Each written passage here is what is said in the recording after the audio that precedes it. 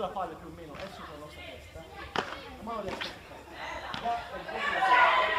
E iniziamo a girare mentre muoviamo nel campo. Poi quando la palla più o meno è sopra la nostra testa, la mano destra si ferma. Va